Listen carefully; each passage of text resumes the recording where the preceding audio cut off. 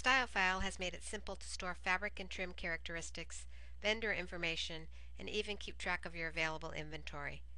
Begin by selecting the Materials icon from the database menu. Select a line in the search grid to view the vendor and characteristics of a particular item.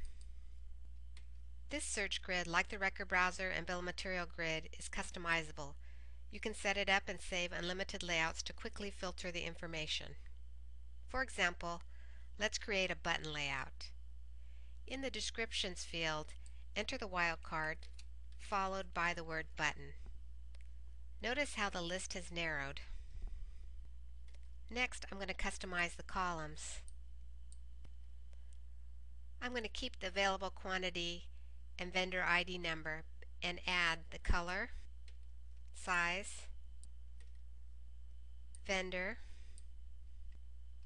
and I'm going to add an image.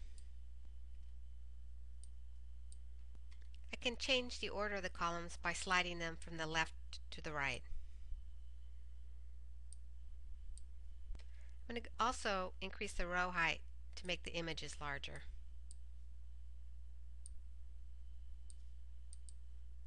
Now I'll save this layout for quick access later. Easy to switch between the layouts by using the drop-down lists. I can also check my inventory by selecting an item and showing the inventory grids. Now I can see my available quantity and location down to the roll. This helps me stay organized and ready for the busy production season.